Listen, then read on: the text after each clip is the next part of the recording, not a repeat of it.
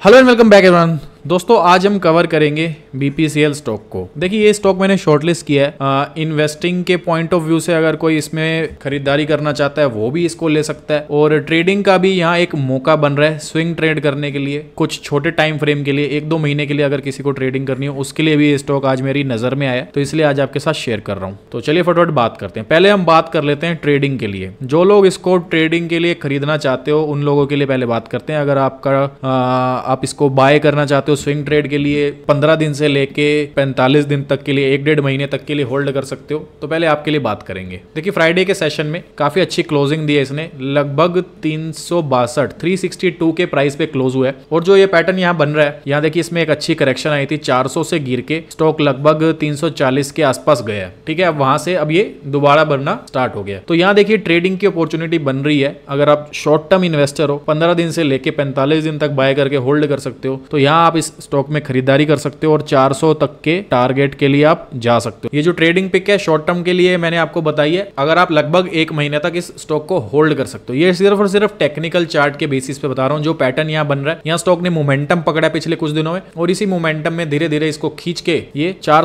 तक के आसपास, तीन सौ नब्बे तक के आसपास इस स्टॉक को ले जा सकता है। तो तीन सौ नब्बे के आसपास का टारगेट रख सकते हो। कोई भी इस स्टॉक में डिप आती है, देखिए मंडे को खुलता है स्टॉक थोड़ा सा नीचे आता है, वो बाइंग करने की अपॉर्चुनिटी होगी स्टॉक में घुसने की अपॉर्चुनिटी होगी। ठीक है अब देखिए अब बात कर लेते हैं स्टॉप लॉस की। स्टॉप लॉस यहाँ बनेगा तीन सौ चालीस रुपए का ये स्विंग लो का। चलिए अब बात करते हैं इस स्टॉक में लॉन्ग टर्म इन्वेस्टिंग की। क्या आपको इस स्टॉक को लॉन्ग टर्म के लिए बाय करना है? तो देखिए लॉन्ग टर्म इन्वेस्टर अगर आप हो कम से कम छह महीने से लेके एक साल के लिए मिनिमम आप होल्ड कर सकते हो तो डेफिनेटली आप इस स्टॉक को बाय कर सकते हो। किस बेसिस पे बता रहा हूँ पहले वो बात कर लेते हैं। देखिए आज के टाइम पे मार्केट चल रही है लगभग 19,800 पे सेंसेक्स निफ्टी बंद हुआ है फ्राइडे के सेशन में और इसका लाइफ टाइम हाई भी लगभग 20,000 के आसपास का है। तो मार्केट लाइफ टाइम हाई पे चल रही है। सभी stocks mostly small cap mid cap सभी कंपनियाँ बहुत ज़्यादा हाई वैल्यूएशन पर इस वक्त ट्रेड कर रही है। काफ़ी ऊपर ट्रेड कर रही हैं। जब मार्केट लाइफ टाइम हाई के आसपास चल रही होती है mostly stock all time high के आसपास चल रहे होते हैं हाई वैल्यूएशन पे चल होते हैं तो उस टाइम पर आपको कौन से स्टॉक खरीदने चाहिए? उस टाइम पर आपको ऐसे स्टॉक्स खरीदने चाहिए इन्वेस्टमेंट के लिए बता रहा हूँ जिनकी वैल्यूएशन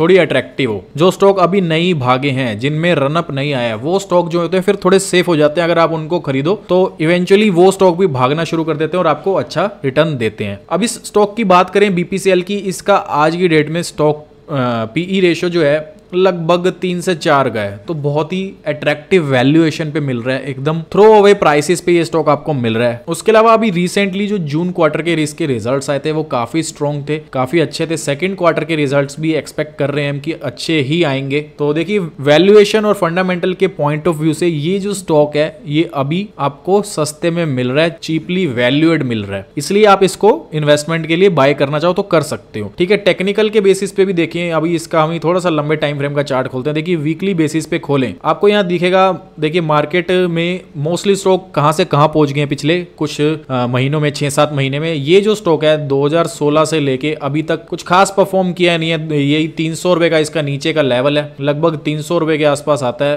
तो वहाँ पे इसको सपोर्ट मिलता है और स्टॉक फिर वापस ऊपर चल जाता है। तो अगर आप देखो तो इस स्टॉक ने 2016 से लेके 2027 सात सालों में कुछ खास परफॉर्म किया नहीं है। नीचे का 300 का लेवल है और ऊपर का लगभग 560 570 के आसपास का लेवल है, ठीक है? तो अगर आप इस स्टॉक में अभी इन्वेस्टमेंट करते हो, अभी देखिए आपको नीचे के लेवल के पास मिल रहा है 362 पे मिल रहा है और नीचे सपोर्ट जोन इसका है 300 300 से ज़्यादा दूर नहीं गया 362 पे ही है। अभी आपको ये एक लोअर रेंज में मिल रहा है, सस्ते में मिल रहा है। यहाँ अगर आप बाय करते हो, अगर होल्ड करते हो, उसके बाद छह महीने, बारह महीने, एक साल वेट करते हो तो ये स्टॉक आपको ऊपर के लेवल दिखा सकता है और ये स्टॉक वापस ऊपर बढ़ता हुआ आपको 500 तक जाता हुआ भी दिख सकता है। तो ये एनालिसिस है, इस बेसिस पे आपको लॉन्ग टर्म के लिए बता रहा हूँ। अगर टर्म के लिए स्टॉक में एंट्री लेना चाहते हो तो करंट प्राइस जो है 362 का, ये मेरे हिसाब से तो काफ़ी सस्ता प्राइस है चीप प्राइस है जिसपे आपको ये मिल रहा है। छह महीने से लेकर अगर एक साल तक अगर आप इस स्टॉक को होल्ड कर सकते हो डेफिनेटली आप इस स्टॉक को आज बाय कर सकते